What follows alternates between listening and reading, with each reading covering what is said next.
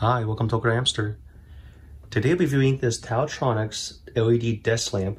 The model is TT-DL092. I've been using this for a while now. And before I go into more details on it, I just want to show off the user manual.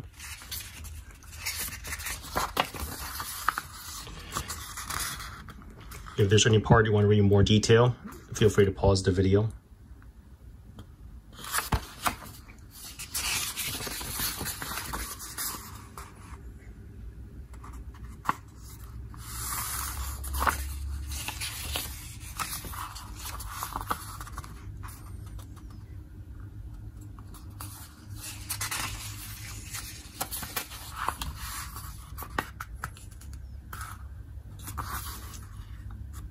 Even if I lost the user manual, this unit is pretty easy to figure out. This board over here, this was, it came with it on it. Um, I left it on there just because if I had removed it, all the items here is not labeled. I place it back on here is because I plan to put this light in my child's uh, study room. And I'm going to detail on why shortly. Over here, I'm able to rotate this 45 degrees either way. It's a nice sturdy base. Even though there's a lot of space on this side over here, there is no wireless charging pad. This light on top, I can adjust it and tilt, tilt up and down. For this part, just tilt this way. I cannot pan it. I cannot turn, twist it or anything. And that's okay. I'll go into more detail on that later too. On the back over here, there is one USB type A out. So I can plug in my uh, lightning cable, my USB type A to type C or USB type A to micro USB to charge my other devices. And here's the power port. The power cable for this is about six feet. Finally, someone making LED desk lamps provided a long power cable. Thank you, Taotronics, for doing that. That's the power adapter. Now, the reason why I said that this part, if it can't uh, twist or tilt, that's okay. And the reason is because of this over here.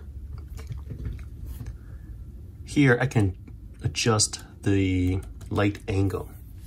So, if I'm looking at this right now, the actually I'm turn off the LEDs. There's LEDs on the left side, LEDs on the right side.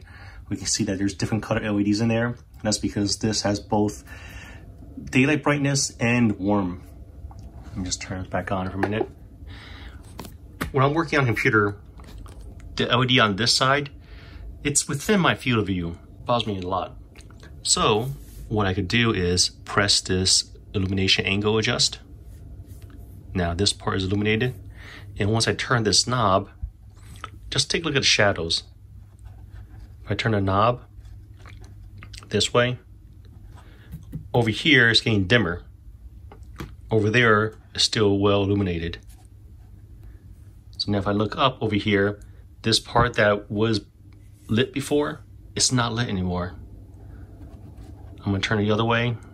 So now it's, yeah, now it's catching my eye. This time over here is not lit. There's more shadow on that side over there. I'm gonna turn again. We can see this side getting brighter. If I ever want to reset it back to default, just press, mm, well, two seconds or so. It just blink a little, it resets back to default. The same goes for the brightness adjustment. If I were to change the brightness right now, say put it on the lowest brightness, and then I press over here uh, two seconds, it automatically resets back to the middle. Same goes for color temperature. Let me just show the color temperature. Here is very warm type of color temperature. And I'm gonna turn the other way. This is getting very bright daylight brightness. Let me set it back to the middle. Of the other function is auto brightness adjustment. I don't really use that. I prefer to set my own brightness. There's a 60 minute timer on off and nightly. the nightlight function, I like it. It's not very bright. Perfect for a nightlight, perfect, perfect for my kids' room. Another one of the reasons why I want to place this in my kids' room. The only thing with the nightlight is that even though the manual says the auto timer works with regular light and night light, I have not been able to get that to work. If I press the, the timer, nothing happens. If I press and hold for two seconds, still nothing happens. Let me turn the light back on. But when it's on regular light mode, if I just tap on the timer, see now it's illuminated. Tap on the timer again, the auto timer shuts off. The other desk lamp I've been using for this room, this has a CFL light.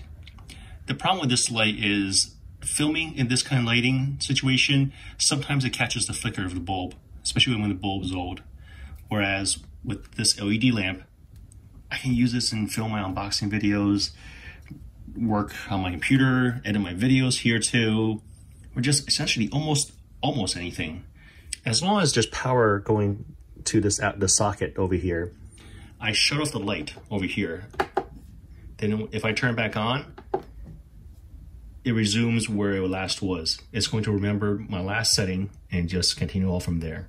The only way for it to forget it is I completely shut off the power to this outlet.